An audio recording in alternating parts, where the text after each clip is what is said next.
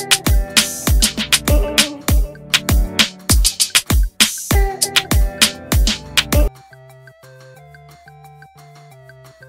สท์กรี๊ดลั่นสุดดีใจนักแสดงรุ่นใหญ่ไม่เคยไปงานใครเลยมาเซอร์ไพรส์ร่วมยินดี แม้ว่ายายจะไม่ได้อยู่ดูหนูรับปริญญา แต่ป้าดาวก็เหมือนเป็นตัวแทนของยายหนูด้วย เบสท์กรี๊ดลั่นสุดดีใจ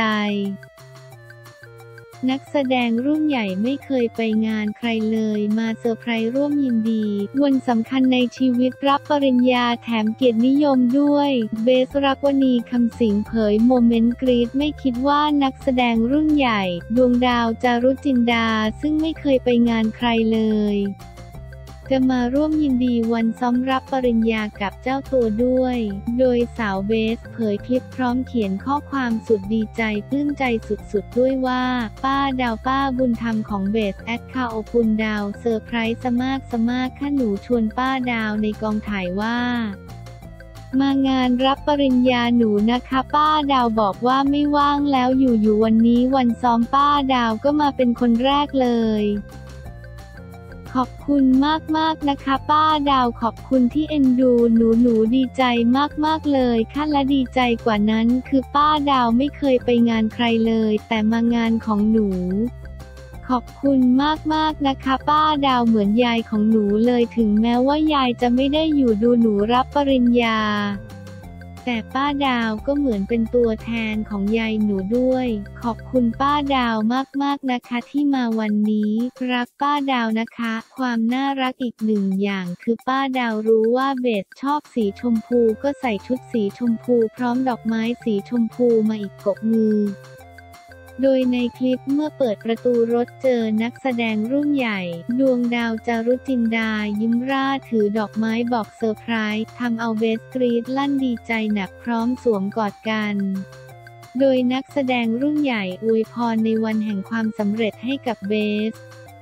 ก่อนจะถ่ายรูปกันอบอุ่นขณะที่แฟนคลับเข้ามาคอมเมนต์รัวๆว่าเป็นโมเมนต์อบอุ่นมากๆ อาทิป้าดาวน่ารักมากๆ ป้าดาวคงทำให้น้องเบสรู้สึกอบอุ่นเหมือนอยู่กับคุณยาย ขอให้ป้าดาวเอ็นดูหนูเบสไปนานๆนะคะ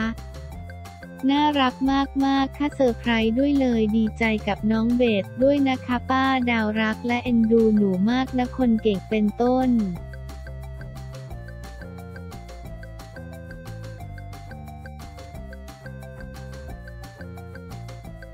แพนเค้กควงพี่หมีฉลองวิวาห์หวานเจ้าสาวอัพสวยทำตาสองชั้น เพื่องานนี้โดยเฉพาะแพนเค้กควงพี่หมีฉลองวิวาห์หวานเน้นธีมสนุกฟากเจ้าสาวเผยอัพสวยทำตาสองชั้น เพื่องานนี้โดยเฉพาะบอกเป็นเรื่องใหม่ในชีวิตสามีหยอดหวานเชื่อภรรยาชีวิตเจริญ วันที่ 9 ธันวาคม 2565 ที่ห้องเจ้าพระยาหอประชุมกองทัพเรือนางเอกสาวชื่อดังแพนเค้กเขมนิจจามิกรณ์ และพี่หมีพันตำรวจโทด็อกเตอร์ศักดิ์สุนทรเปรมานนท์จัดงานเลี้ยงฉลองมงคลสมรสหลังจากที่ทั้งคู่ลั่นระฆังวิวาห์ไปเมื่อวันที่ 10 มิถุนายน ที่ห้องแอดแคล่าสวีทโรงแรม Waldorf Astoria กรุงเทพมหานครรวมถึงจัดพิธีแต่งงานแบบล้านนาที่ไร่เชิญตะวันจังหวัดเชียงรายไปแล้วผู้สื่อข่าวรายงานว่าเมื่อเวลา 14 นาฬิกาแพนเค้กและพี่หมีควงคู่เปิดใจให้สัมภาษณ์ถึงงานฉลองวิวาหวานที่จะเกิดขึ้นในช่วงเย็นของวันนี้ พร้อมอัปเดตความสวยของเจ้าสาวที่หลายคนมองว่าออร่าจับมากขึ้นกว่าเดิม โดยแพนเค้กกล่าวก่อนว่า จากคราวที่แล้วคนก็จะถามว่าแต่งไปแล้วไม่ใช่เหรอ จัดอะไรอีกวันนี้เป็นงานฉลองมงคลสมรสหลังจากที่จัดพิธีสวมแหวนและพิธีทางล้านนาไปแล้ว ครั้งนี้ก็จะมีความแตกต่างจากครั้งที่แล้ว สนุกมากยิ่งขึ้น แต่ก็ยังคงมีส่วนของพิธีการที่เป็นพิธีลอดซุ้มกระบี่ รวมไปถึงโชว์ที่เราเตรียมไว้ เรียกว่าจับเอาจุดเริ่มต้นของเราในทั้งสองอาชีพมารวมอยู่ในงาน ความเป็นนักแสดงเป็นนางแบบของแพน รวมถึงพี่หมีที่เป็นตำรวจ สำหรับธีมงานไม่มีกำหนดที่ตายตัว ไม่มีสีอะไรที่เป็นพิเศษทั้งหมดเป็นความสนุกความชอบของเราทั้งสองคน ส่วนดอกไฮเดรนเยียที่นำมาตกแต่งในงานครั้งนี้ก็จะเป็นทุ่งไฮเดรนเยียที่เราได้ไปเที่ยวกันสองคน ซึ่งเป็น memory ดีๆ ก็เลยนำมาอยู่ในงานวันนี้ด้วยในส่วนของชุดเจ้าสาววันนี้มีทั้งหมด 5 ชุดจากพี่พี่ดีไซเนอร์ คนไทยที่เคยมีโอกาสได้ทำงานร่วมกันเช่นเดิม ประกอบด้วยกล้าเลิฟโพเอม อาซาวาคานาโป และปาตินยาส่วนชุดของเจ้าบ่าวก็มี 5 ชุดเช่นกันค่ะ วันนี้เจ้าสาวดูสวยขึ้นเป็นพิเศษไปทำอะไรมาหรือเปล่า แพนเค้กเพื่องานนี้เลยค่ะจริงๆ แล้วเราก็มีการดูแลตัวเองอย่างต่อเนื่อง ซึ่งก็มีไปทำตาสองชั้นมานิดหนึ่ง หลายคนถามเหมือนกันว่าไปทำมาตรงไหนขอดูหน่อย ก่อนวันที่จะจัดงานฉลองแต่งครั้งนี้ ใจแอบกังวลมากกว่าคุณหมอคะจะทันหรือเปล่า คุณหมอบอกว่าสบายมากต้องบอกว่ามันเป็นเรื่องใหม่ในชีวิต พี่หมีเองก็ใจตุ้มตุ้มต่อมต่อมเหมือนกัน เพราะว่าเราไม่เคย แต่พอได้ทำไปแล้วทุกอย่างมันไม่เหมือนอย่างที่คิด ถือเป็นประสบการณ์ใหม่จริง ๆ และก็แฮปปี้มากอีกอย่างจริง ๆ แพนตาไม่เท่ากันมาตลอดแต่คราวนี้พอดูปุ๊บคุณหมอบอกว่าทำนิดเดียว เราเองก็ย้ำว่าขอธรรมชาติสุดๆที่ยังเป็นตาเราอยู่ ซึ่งก็ออกมาเป็นอย่างที่ทุกคนเห็น มันก็จะมีความชัดขึ้นนิดหนึ่ง แต่จะชัดมากน้อยก็แล้วแต่การแต่งหน้าของเราซึ่งหลังจากที่ไปทำมาปรากฏว่าเป็นกล้ามเนื้อตาอ่อนแรง เลยทำให้เราเพิ่งรู้ว่าจริง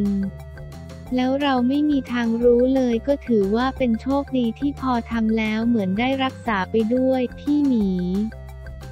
สำหรับผมโอเคมากแต่ตอนแรกตกใจ เพราะว่ากลัวคือตามันก็เป็นอะไรที่เซนซิทีฟ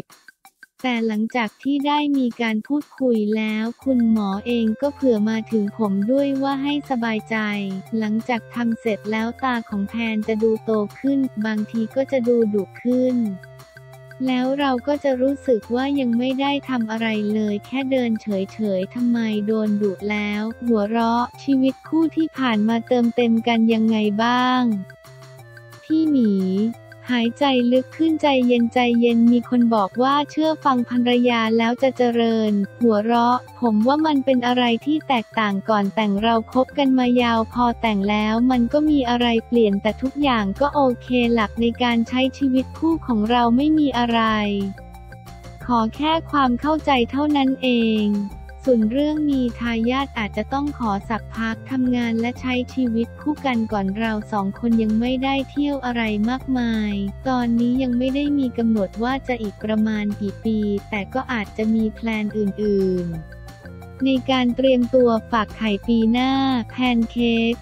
แพนเชื่อว่ามันไม่มีอะไรสมบูรณ์แบบ 100%แต่ว่าก็ค่อยๆ ให้ทุกวันมันโอเค พออยู่ด้วยกันจริงๆ แล้วมันต้องเอื้อเฟื้อซึ่งกันและกัน เพราะมันมีเรื่องอะไรให้เราได้กระทบกระทั่งเล็กๆ น้อย